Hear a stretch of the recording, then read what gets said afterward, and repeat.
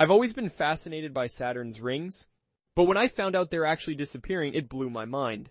What makes them so special compared to any other planets?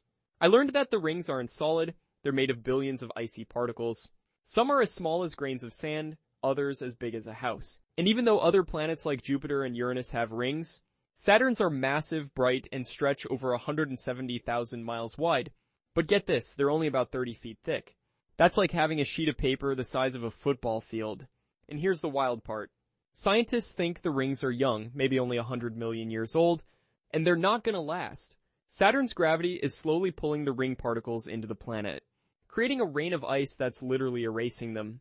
It made me wonder, why does Saturn have the most spectacular rings? While Jupiter's are barely visible? Turns out the answer might involve ancient moon collisions and the chaotic past of our solar system. Pretty crazy, right? I'm digging into that next and follow me for part two.